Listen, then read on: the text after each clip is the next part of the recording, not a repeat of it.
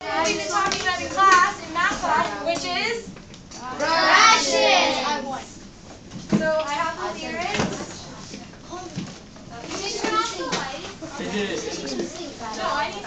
she the did. Say she. Teach me how to Dougie. Teach me how to Dougie.